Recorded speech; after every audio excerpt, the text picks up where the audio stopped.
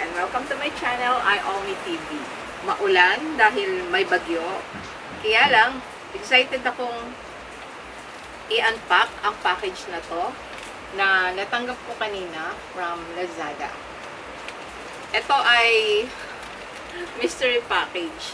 Nakatuwaan kong i-order nitong quarantine period. Isa ito sa mga in-order ko. Yung iba hindi pa dumating. At hindi ko alam kung ano ang laman nito. Basta ang ah, binayaran ko dito ay 126 pesos inclusive of shipping fee. So, excited na ako. So, buksan na. so, ayan.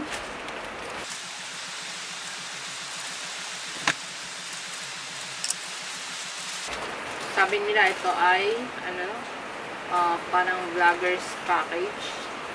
Ano to? Oh, wow. Wow. Hmm. Ito.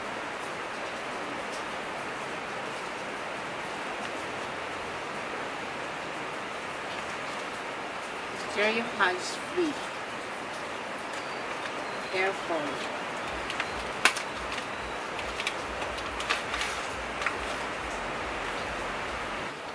Ito siya. Sana ay hindi defective. Magkano kaya ganito pag binibili? Hindi ko alam eh.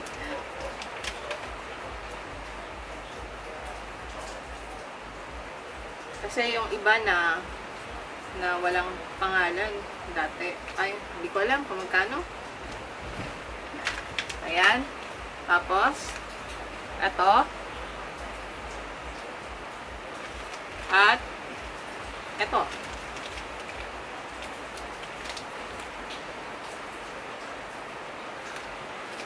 So, sabihin na natin 126 nga ang ang halaga nito.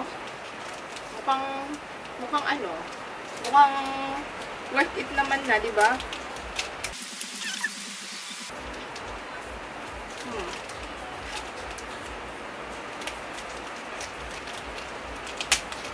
Yun. Kakaiba pa yung ano niya. Parang maganda. Ayan.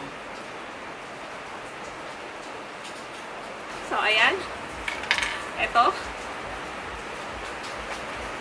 Ang laman ng mystery package. So, that's it. Thank you for watching my video. Please subscribe to my channel if you aren't subscribed yet.